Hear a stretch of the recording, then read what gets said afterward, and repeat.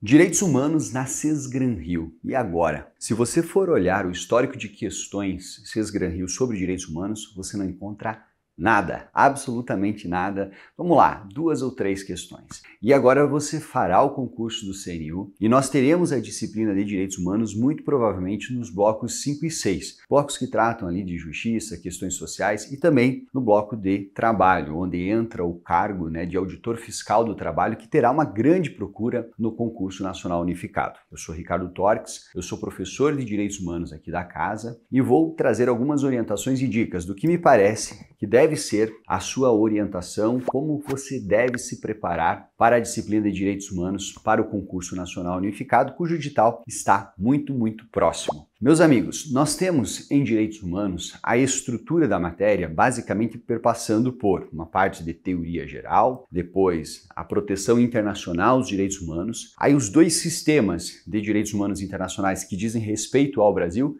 que é o sistema da ONU, que é a Organização das Nações Unidas, e o sistema da OEA, que é a Organização dos Estados Americanos. E depois nós olhamos para os direitos humanos dentro do Brasil, ou seja, qual é a relação dessa disciplina lá no direito internacional com a nossa realidade interna. Então, basicamente, ela vem estruturada dessa forma: teoria geral, proteção internacional, ONU, OEA e direitos humanos no Brasil. Quando eu pego um edital que cobra muito sobre os direitos humanos, ela passa por todos esses temas. E aí, será que no CNU nós teremos tudo isso sendo abordado? Será que agora, nesse pré-edital, eu devo me preparar e estar focado em todos esses temas? Me parece que não. Eu acredito que, tendo em vista né, os cargos para os quais a matéria pode vir a ser cobrada, e nós não temos ainda a certeza de que matérias, de que é, áreas nós teremos a cobrança propriamente da disciplina de direitos humanos, qual será o conteúdo programático, e muito menos sabemos como a banca Cisgran Rio irá cobrar isso, mas eu vou deixar algumas dicas bem legais aqui para vocês. A sugestão é que eu faça que você tenha uma boa base na teoria geral dos direitos humanos e você estude os direitos humanos no Brasil, ou seja, você estude as duas pontas. Você vai deixar o miolo, proteção internacional, sistema da ONU, sistema da OEA para quem sabe um segundo momento que é quando você já terá o edital em mãos. Então, agora, nesse momento, o mais importante é que você forme uma base, que você conheça né, a evolução histórica, as dimensões, as principais características dos direitos humanos e que você estude as normas relacionadas com os direitos humanos dentro do nosso país. E aí você vai entender a Constituição nos seus aspectos no que diz respeito aos tratados internacionais de direitos humanos, quais são os tratados que têm hierarquia constitucional. Você vai estudar, por exemplo, o incidente de deslocamento de competência, que está lá no artigo 109, parágrafo 5 Você vai estudar também a temática dos grupos vulneráveis, ou seja, como que o nosso ordenamento interno protege, por exemplo, a mulher. Como que o nosso ordenamento interno,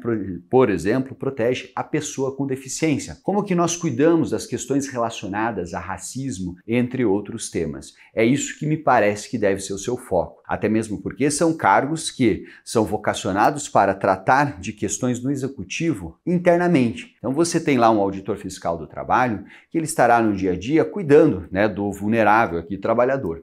E ainda aproveito para deixar uma dica aqui específica olhando para o cargo de AFT. Você que está focado em AFT, eu adicionaria dentro dessas duas sugestões que eu trouxe, estudar teoria geral e direitos humanos dentro do Brasil, você dar uma olhada também na parte do direito internacional do trabalho. No último edital, né, quando o edital não estava ali né, conglobado dentro do concurso nacional unificado, nós tivemos, até mesmo lá na legislação trabalhista, cobrança, por exemplo, das convenções da OIT, você precisava conhecer a Organização Internacional do Trabalho, as suas convenções, como era o funcionamento, como era a estrutura. E eu realmente acredito que você deva estudar isso. Nós, por exemplo, lá em nossos cursos, nós temos três aulas que são dedicadas ao estudo dessas convenções. Aqui me parece que vale a pena você já fazer esse estudo porque é bastante improvável que a banca deixe de cobrar as convenções. Então eu estudaria também as convenções da OIT. E aí você vai me dizer, professor, o que, que eu faço? Né? Como que eu faço em relação às questões? Eu vou deixar para você e vou até convidar você para colocar aqui nos comentários. A Cisgran Rio parece com alguma banca? Já que eu não tenho questões da Cisgran Rio para que eu possa parametrizar o que, que eu faço, por onde eu vou, que caminho eu adoto. Aqui é a minha sugestão e eu vou depois passar para olhar os comentários de vocês, então por favor interajam aqui embaixo.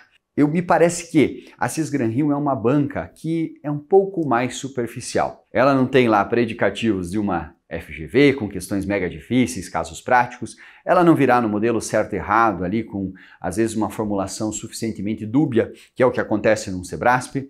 Ela é uma FCC um pouco mais facilitada. Ela se aproxima em alguma medida de uma VUNESP, ela guarda característica com essas bancas menores. Portanto, quando nós olhamos aqui para uma preparação a partir de questões, eu acredito que em direitos humanos vale a pena resolver as questões que nós temos. Não vá resolver questões da área jurídica, por exemplo. Deixe questões de defensoria de lado. Porque nós temos discussões, por exemplo, que são cobradas em questões da magistratura, em questões né, de defensoria, de direitos humanos, que até poderiam ser utilizadas aqui, mas me parece que elas irão apertar um pouco mais o seu coração, deixarão vocês aflitos e não é exatamente o que deve repercutir na prova de vocês. Então, busquem questões que são um pouco mais fáceis, um pouco mais simples.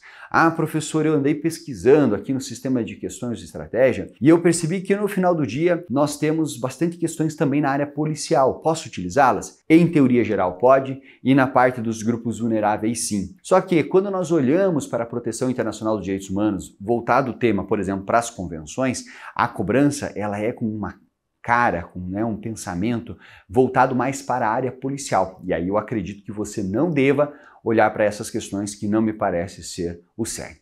Em síntese, concurso nacional unificado, direitos humanos, Sesgran Rio. Vá no básico. Comece estudando a parte introdutória, estude a parte dos direitos humanos, faça as questões que são mais simples, deixe as questões da área jurídica e vamos para cima. Quando o edital for publicado, nós voltaremos aqui e traremos orientações e dicas para que você faça a melhor preparação possível. E pessoal, para encerrar, eu vou convidar você aqui no link da descrição para você ingressar num grupo exclusivo de WhatsApp em que todas essas informações são comunicadas e você pode acompanhar em primeira mão tudo que nós aqui do Estratégia faremos para você ser aprovado na C1. Um forte abraço, fiquem bem e até mais.